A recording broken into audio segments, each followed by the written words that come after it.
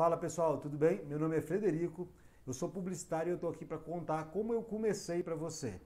Quando eu comecei, gente, eu tinha feito um curso de design gráfico, tá? que na época nem chamava nem design gráfico, chama planejamento visual gráfico. Eu comecei há 20 anos atrás e o que, que eu fiz? Eu tinha muita paixão pelo que fazia, eu tenho muita energia. Eu sempre fui muito aflito por trabalhar, eu sempre me envolvi com tudo que eu faço e ainda me envolvo muito. A mesma paixão que eu tenho de quando eu comecei é a paixão que eu tenho hoje. Então o que eu fiz, gente? Eu vi que eu tinha um talento, comecei com a minha primeira empresa, que chamava Estúdio Digital. Tá? Eu tinha um sócio, tive alguns problemas, separei. Vamos falar assim, quebrei a minha primeira vez. Mas foi ótimo porque a gente vai ficando duro, a gente vai ficando mais forte com o tempo que passa. E eu percebi que eu gostava muito de explicar e de passar as informações para frente. Descobri o meu propósito, que era estar tá, aproximar, ensinar. E hoje já são mais de 20 anos dentro da área de ensino.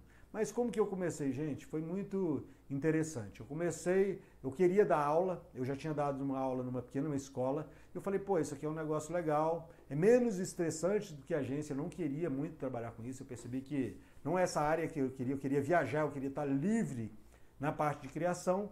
E aí eu dei o primeiro passo. Eu coloquei um anúncio no jornal, na época não tinha Facebook, não tinha Instagram, estava começando o Google e eu fiz alguns panfletos. Eu fiz a minha primeira estratégia de comunicação correta. Eu fui nas faculdades, que é onde o pessoal estudava e onde tinha o público-alvo que eu queria. Eu fui nas faculdades de comunicação. Eu fui no CEUB, no IESB e fui no, na UNB. E joguei os panfletos. Gente, quando eu comecei, eu tinha um computador e era, eu não tinha mais nada. Eu divulguei sem ter as máquinas. E para minha surpresa, gente, o pessoal ligou. E como eu falei, comunicação é uma questão de percepção, eu tinha feito um material muito bonito. E eu comecei com o pé direito. Eu coloquei sete alunos de manhã, sete alunos de tarde e sete de alunos de noite. Então eu comecei com a lotação máxima. E isso me deu muita segurança para poder começar. E eu percebi que realmente uma embalagem, um design, uma comunicação bem feita funciona. Naquela época, o design foi o diferencial competitivo para mim.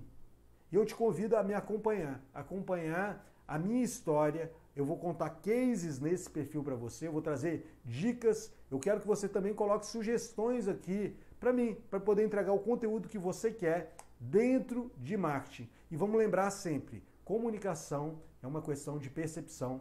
A gente está junto e vamos lá.